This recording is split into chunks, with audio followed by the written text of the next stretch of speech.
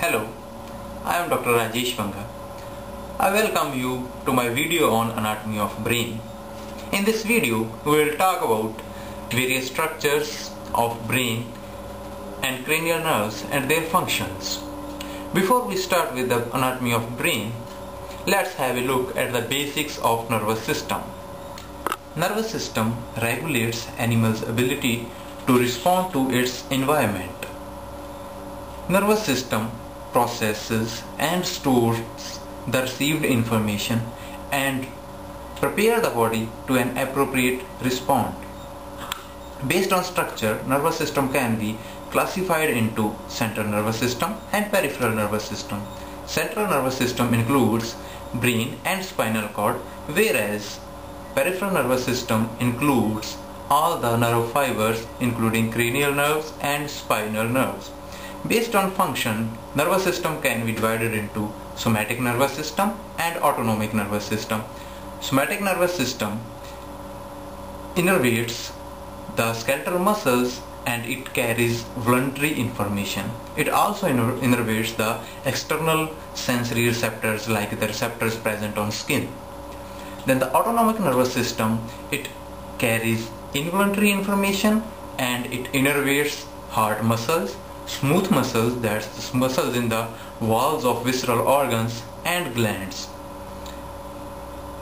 Autonomic nervous system can be further divided into sympathetic nervous system and parasympathetic nervous system. The sympathetic nervous system and parasympathetic nervous system they act antagonistic to each other. That is, they innervate the same organ but have opposite effect on the same organ. For example, if animal is frightened, the sympathetic nervous system will increase the heartbeat, whereas the parasympathetic nervous system will try to reverse this effect.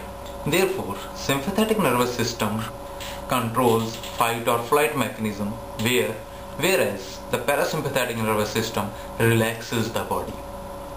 So that was a brief about structure and classification of nervous system. Uh, now we will talk in brief about the development of nervous system in prenatal life. Nervous system originates from neural plate from the ectoderm, the outermost layer of three embryonic germ layers. This neural plate is induced by notochord and developed from the ectoderm uh, in the process, this neural plate folds and form the neural tube. During this transformation, some of the cells are detached from neural plate and they are differentiated into neural crest cells which give rise to further some components of nervous system. The lumen of this tube, neural tube, give rise to ventricular system of the brain. Caudal part of this neural tube develops into spinal cord whereas the cranial or rostral part it differentiates into three parts as rhombencephalon, prosencephalon and mesencephalon.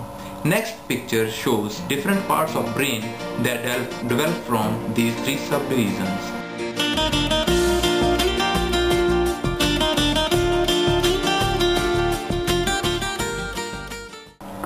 So after this brief introduction about the nervous system, and how it develops in the embryonic life.